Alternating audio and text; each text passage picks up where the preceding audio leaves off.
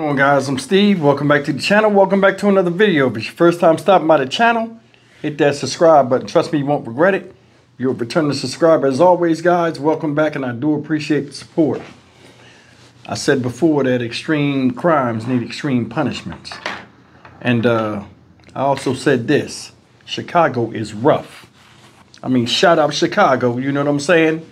All my uh, loyal listeners out there but it's rough I'm going to talk about this story that's going all over the internet and is basically blinking in the news today about this Chicago police officer by the name of Enrique Martinez. I think they said he was 26 years old, and he uh, he tragically lost his life last night. You know, as him and a few other officers walked up on a car on a routine stop, and uh, this guy got unloaded with the whole clip and uh, he tragically lost his life. I'm gonna go ahead and play you this video that just surfaced now. And uh, they block out, somebody recorded it, they block it out. But you can see and hear a little bit of the hysteria that ensued after this person pulled the gun out and shot. Take a look at this, man. We're learning more details about the circumstances behind the deadly shooting of a Chicago police officer, Enrique Martinez. The 26 year old was approaching a stopped car in East Chatham last night when a suspect opened fire. The burst of rapid gunfire caught on the Citizen app video. We are going to share a short portion of that clip, but we do want to warn you that it may be difficult to hear and see.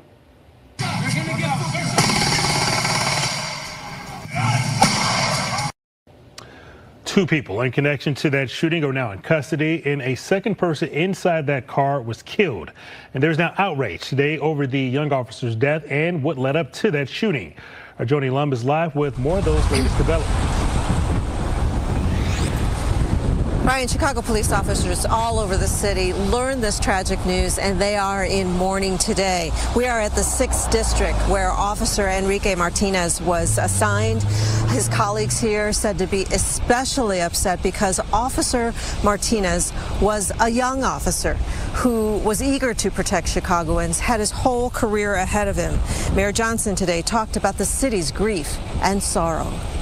We are calling for swift um, acts of justice uh, to bring the individuals responsible for um, this horrific tragedy uh, to justice. This morning, a large shipment of flowers was delivered to the 6th District.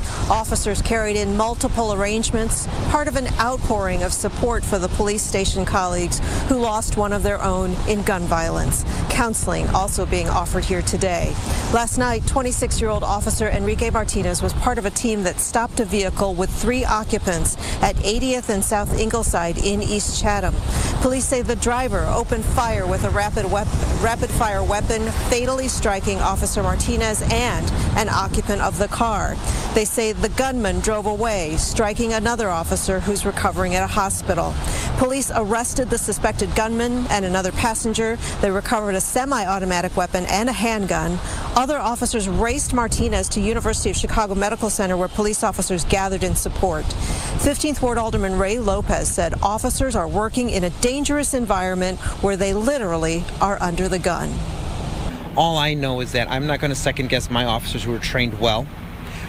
But what I do know is that even in those circumstances, if you have someone who has an extended clip and a willingness to use that weapon and unload it on a police officer, no amount of commands is going to stop them from doing what they're doing.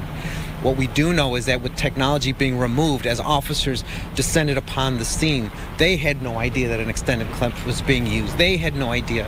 And we could have had much greater casualties uh, if they had not stopped that offender.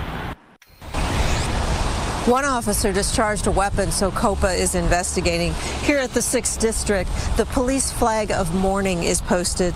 Later today, there's going to be something special for the third watch. Those uh, colleagues who worked directly with Martinez. He was a Southwest Side resident, engaged to be married, had a brother on the force, comes from a law enforcement family. The 6th District in deep sorrow today. Reporting live on the South Side, I'm Joanie Lum. Back to you. Thank you so much. Guys, that's the story of what happened to uh, Chicago PD officer Enrique Martinez. May rest in peace, like I said before. And this is one of the reasons why nowadays I couldn't be a police officer. Not saying I don't respect them because they do a lot. And until one of them dies, and then you know you hear about how it happened, and you know then people start to think like, well, maybe you know that's that's not a you know it's tragic that that happened and the person was a human being. The man was just doing his job. His job. Said he was serious about trying to make the street safer. And uh, that's what happened to him. He said he was on the force for three years. Walked up on the car. The dummy that had the Glock switch or whatever it was, let the gun go, couldn't control it, hit his man and everything. Killed him. Police scrambling, screaming, guy on the ground. They back up, hit another car, and then take off. It's a bunch of craziness. What's crazy is they got the gunman. Now, I'm anxious to see how he look physically when they bring him into that uh, courtroom when he do appear in court. Because supposedly he was hurt too. But either way, man, come on, man. Come on. There are places out here that like, you know, where they have people that like chaotic disorder. What do you do with them? See, that's the thing. You can't deal with a civilized mind when dealing with the atrocities of savages. And that's the way I look at it. You know what I'm saying? I'm more than sure those people that was in that car was told the right and wrong things to do in life, but chose not to listen and chose that they were smarter than everybody else. And like I told you, people that do dirt like doing it. Like doing it. Guy had an extended clip in the car. Said it happened around 8 o'clock last night. Driving around with the gun on you. What you need a gun on you for driving around?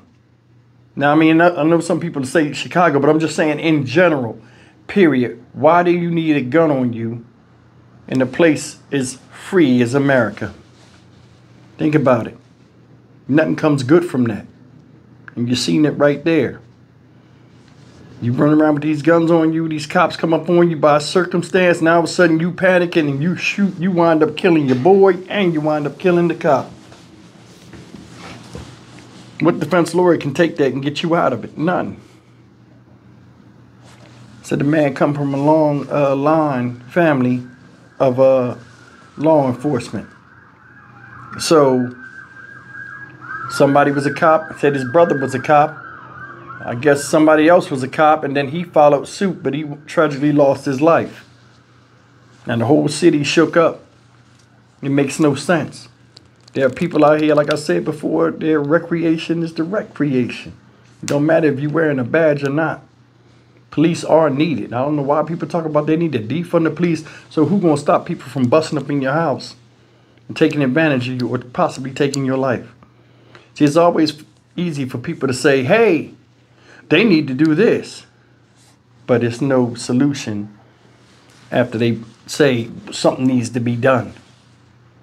Either way, man, the guys should still be here. Those dudes shouldn't be locked up. World is a mess. But I told you, to really fix this, we got to get rid of a lot of people. And there are some people that are beyond repair. And you're seeing it in almost every news story I do. I'm Stock Market Steve for the Dynamic Reason channel. As always, like, comment, share, and subscribe. I'll see you in the next video. Take care.